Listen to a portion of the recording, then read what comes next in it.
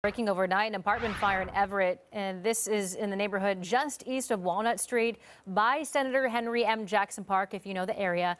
And we spoke with neighbors on the scene who told us people were trapped inside and had to be rescued by fire ladder from the second floor.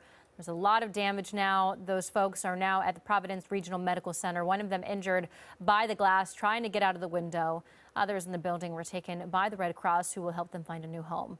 There was smoke and water damage in the building, and now investigators are looking into what started this fire.